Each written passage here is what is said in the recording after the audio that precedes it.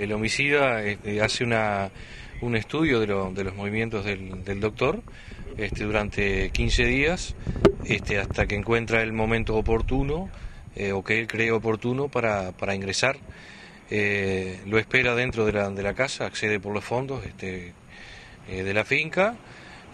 una vez que, este, que está en el lugar, lo agrede en primera instancia con un objeto contundente, en este caso una, paleta de, este, de pádel y luego eh, lo ata, lo ata y lo traslada hasta el, encima del, de la cama donde descansaba este el doctor Vivas y ahí se dedica a, este, hacerle algunas preguntas y este, buscar eh, el dinero que, que Vivas le decía que no, que no tenía.